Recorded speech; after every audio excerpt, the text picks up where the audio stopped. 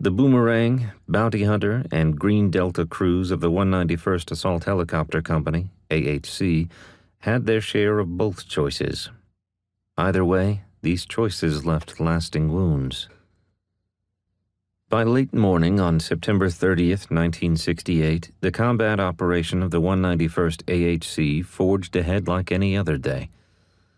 The Quiet Specialist 4, SP 4, Glenn Lawfield, a striking youngster with clean cut looks, always available with a pleasant demeanor and a warm smile, reported that morning as gunner for Boomerang 1 3, a lift ship that was a Huey configured for troop transport or a slick for short.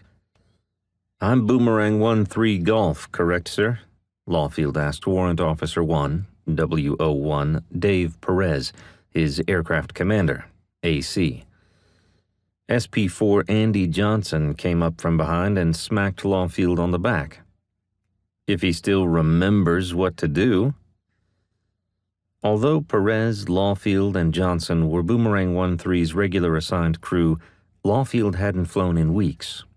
On this day, he volunteered to substitute for someone else. The crew was together again, and Johnson and Lawfield were happy for it. Lawfield cocked his head and flashed Johnson that pleasant smile. Lawfield hailed from near Detroit, Michigan, and bunked next to his buddy Johnson. The two were barely out of high school and acted like high school buddies, inseparable and always joking around. While Lawfield and Johnson prepared for their morning's mission, they chatted about home and what they would do when they returned to the States.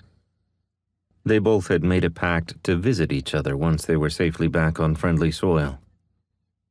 Hey, Johnson, Lawfield called to his best buddy. When you come up to visit me in Detroit, I'll introduce you to the finest women in America. That is, if you still remember what to do. They both laughed.